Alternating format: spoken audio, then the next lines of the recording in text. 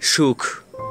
সুখ যেন এক অমূল্য সম্পদ, যেটা আমরা সকলে গ্রহণ করতে চাই, যেটা আমরা সকলে পেতে চাই।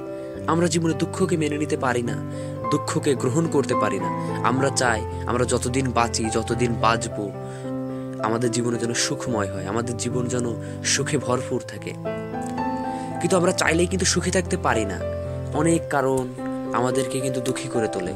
আমাদের নিজেদের কিছু ভুলের কারণেও কিন্তু আমরা অনেক সময় দুঃখী হই। তো আজকে আমি আপনাদের এমন দশটা পয়েন্ট বলব। যে দশটা পয়েন্ট যদি আপনি মেনে চলতে পারেন, তাহলে দেখবেন আপনি বর্তমানে যেমন আছেন, তার থেকেও একটু বেটার থাকবেন, অর্থাৎ একটু সুখী হবেন। বলা যায় যে সহজে সুখী হওয়ার দশটি উপায়। তো প্রথম নাম্বার হচ্ছে, কখনো অন্যের ভুল খুঁজতে যাবেন না। আপনার নিজের ভুলগুলো শুধরে নিন, অন্যের ভুল কখনো খুঁজতে যাবেন না। দুই নম্বর যেখানে যে নিয়ম চালু আছে, সেখানে সেই নিয়ম মেনে চলুন। নতুন করে নিয়ম বানানোর চেষ্টা করবেন না।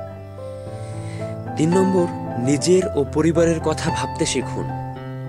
চার, যে জিনিস হারিয়ে গেছে, তার চিন্তা বাদ দিয়ে নতুন কিছু করার চেষ্টা করুন।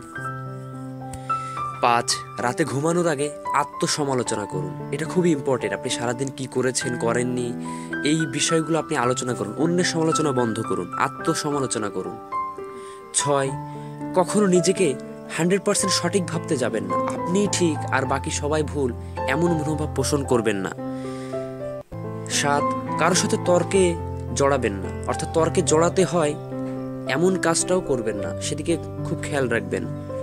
আট, কখনো কোনো ব্যাপারকে জটিল করে দেখবেন না। সবসময় সহজ করে ভাববেন, সহজ করে দেখবেন, পজিটিভ নেবেন সব কিছু পজিটিভলি নেবেন। নয়, সৃষ্টিকর্তাকে বিশ্বাস করতে হবে। সৃষ্টিকর্তার উপর আস্থা রাখতে হবে যে একদিন ইনশাল্লাহ সব কিছু ঠিক হয়ে যাবে।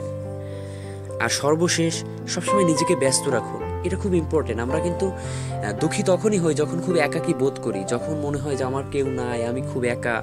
একাকী মনে হলেই কিন্তু আমাদের মনে হয় যে আমি খুব দুঃখী। এজন্য সবসময় যে কোনো কাজে আপনি নিজেকে ব্যস্ত রাখবেন। দশটি কাজ যদি আপনি করতে পারেন, তাহলে দেখবেন আপনার জীবনটা কিছুটা হলে সুখের হয়েছে, কিছুটা দুঃখকে ভুলে যেতে পেরেছে। তো ভালো থাকবেন।